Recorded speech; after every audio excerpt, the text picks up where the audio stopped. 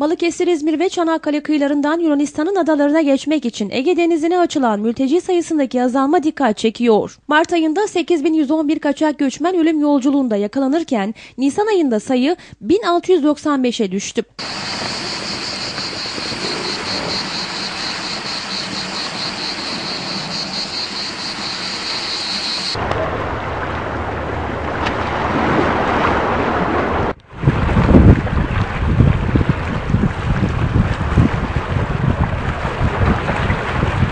Sahil Güvenlik Komutanlığı istatistiklerine göre Mart ayında 168 kaçak göçmen olayında 8111 kaçak göçmen ele geçirilmiş, yaşanan olaylarda 32 kişi hayatını kaybetmişti. Türkiye ile Avrupa Birliği arasında yapılan geri iade anlaşması sonrasında Ege Denizi'nde artırılan önlemler ile birlikte Nisan ayında 34 kaçak geçiş olayı gerçekleşirken toplam 1695 mülteci yakalandı. Mayıs ayının ilk iki gününde ise Ege Denizi'nde hiç kaçak geçiş olayı yaşanmadığı öğrenildi.